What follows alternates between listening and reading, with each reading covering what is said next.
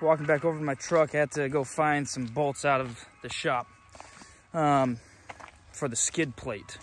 We're gonna be installing the skid plate today. Once the skid plate is installed, we'll have the transmission cooler installed and the skid plate and things should start really being prepared for this massive road trip and overland trip. It's gonna be so white. All right, down here with the skid plate.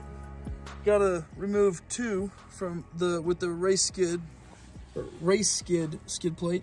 Gotta remove the front two uh, cross member bolts on the sides here and on that side. And then you're gonna actually be bolting it to the front right here on these three holes. So let's get that done. I really need to get a stand for the camera. So how I did this is I picked this up, and it looks good on camera. So I picked this up, held it with my knee while I was holding this with my right hand. So I, I put my hand right here, you know, held that up, and then put my knees like so, and then I reach back here and tighten that up. So I tighten that up, and then kept my legs under there and then just basically held it up with my knees and then threaded these all in.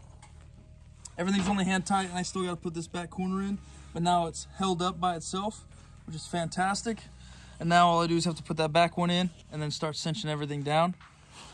Then I just got to get these hoses together and protect it against this piece right here. We'll be set. Man, I'm stoked. This is gonna be sick.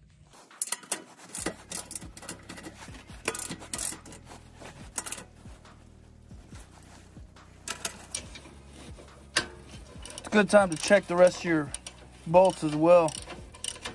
This one was loose.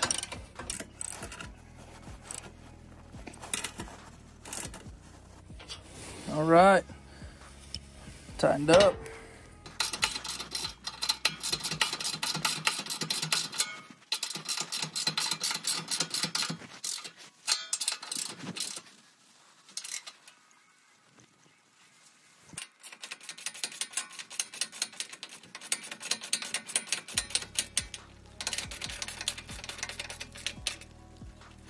All right, finished. Bolted up real nicely. We'll see how she works. The only downside that I see to this is that changing transmission fluid, you have to take that skid plate off to do so. Hopefully I'm not changing it too much more because I got that extra cooler on there now. Okay, so what I did to protect these hoses, I actually took my old strut cut the rubber off of it and I used that rubber around each one of these areas. Then I just zip tied it. Should keep it from rubbing, keep it protected, but I think it's gonna look way good once that's done. Time to put on the bumper cover and grill. Then we're done. Looks pretty good in there. Tucked away nicely. Looks pretty good. And then got the skid plate on. Turned out nice. There you have it, folks. Extra tranny cooler and skid plate. That'll be very helpful. I will say that definitely gives me a huge peace of mind that I have a skid plate on there.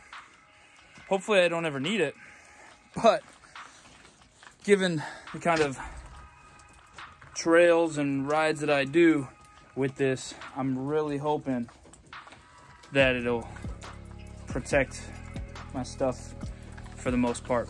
I think it will. I think it'll be great. Very excited. Uh, thanks, Colin, from the Facebook group. Um, thank you for the deal on the skid plate. And uh, hopefully, one day you come back to the Ridgeline family. I know you got a real truck now, but hopefully one day you do. Appreciate it, buddy. Appreciate the support. We'll talk to you on the next one.